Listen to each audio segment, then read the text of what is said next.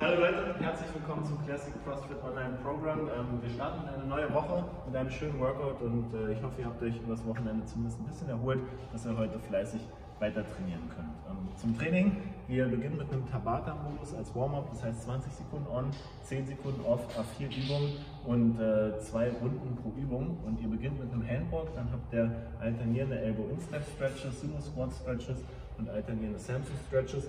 Und wer die Übung noch nicht kennt, der schaut bitte hier in den Videos nach.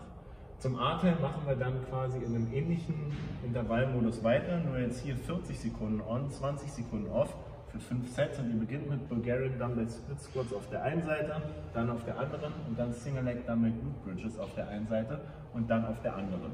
Ähm, bitte arbeitet die 40 Sekunden kontinuierlich durch und versucht auch auf beiden Seiten immer so die gleiche Rep-Anzahl zu schaffen. Wer die Übung jetzt nicht kennt, schaut nochmal hier.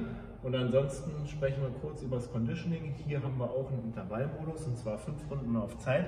Startet jede Runde mit 20 Push-Ups, dann kommen 30 Air Squats und 40 Sit-Ups und ihr macht zwischen den Runden bitte eine Minute 30 Pause, was bedeutet, dass ihr jedes Mal wirklich hart und schnell durchgehen müsst.